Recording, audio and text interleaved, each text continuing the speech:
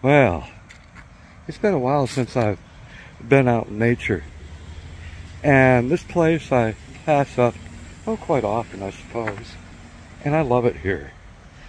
If you want to look at a creek that's nice and crystal clear and you can see the bottom of it, well, here in just a second, I'm going to show it to you. This is absolutely beautiful.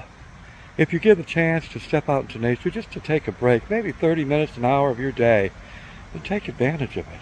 You certainly won't regret it. Check this out. Oh yeah. Oh man. Isn't that beautiful? Ah. Nature at its finest. I've taken my kayak down this a couple times.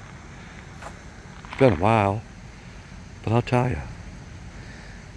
Isn't that beautiful?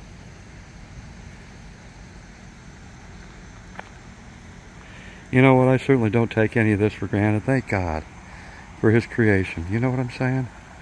I thank Him every day. Thank you for all of this that you created for us. It's just a short little video, just letting you know that nature's out there.